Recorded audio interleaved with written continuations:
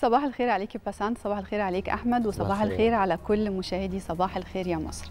مشاهدينا النهارده هيئة الأرصاد بتتوقع إن الطقس هيكون مائل للحرارة على القاهرة الكبرى والوجه البحري والسواحل الشمالية وجنوب سيناء وجنوب البلاد. والجو كمان هيكون لطيف في أول الليل. ومائل للبرودة على في آخره على كافة الأنحاء. وفي كمان النهارده شبورة مائية الصبح هتكون كثيفة أحيانا على الطرق المؤدية من وإلى القاهرة الكبرى والوجه البحري والسواحل الشمالية ومدن القناة ووسط سيناء وشمال الصعيد. وفي كمان فرص لأمطار خفيفة على أقصى الغرب. خلونا نتابع التفاصيل أكتر من الدكتورة منار غانم عضو المركز الإعلامي لهيئة الأرصاد الجوية. صباح الخير يا دكتور.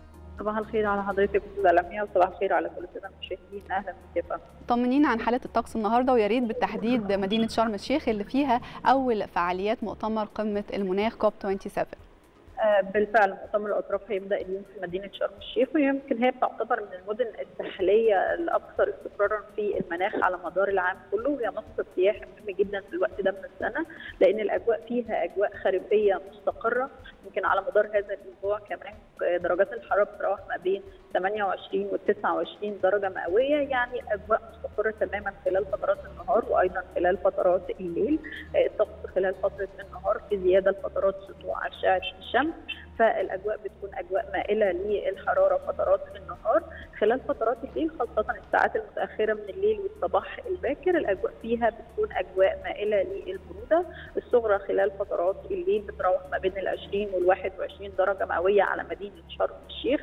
بالإضافة كمان إن حالة الملاحه البحرية على البحر الأحمر لأنها تعتبر المدن الساحلية المطلة على البحر الأحمر بتكون معتدلة تماما. فالأجواء مستقرة تماما نقدر نستمتع بالأجواء والطقس في مدينة شرم الشيخ ونستمتع كمان بفعاليات مؤتمر المناخ.